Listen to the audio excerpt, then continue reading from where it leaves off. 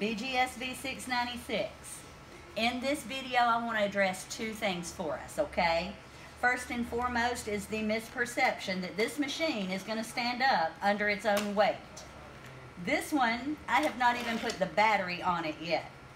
And unless I can get it positioned just right, it's not going to stand up under its own accord.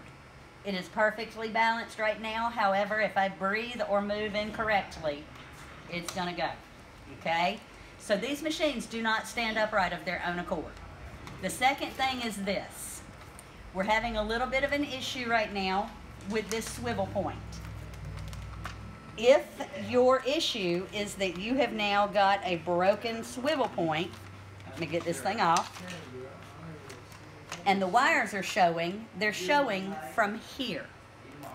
You'll notice this part is 100% replaceable. That's why I have it in my hands. We have these parts available. We send you one out and it plugs right back in, just like when you first got the machine.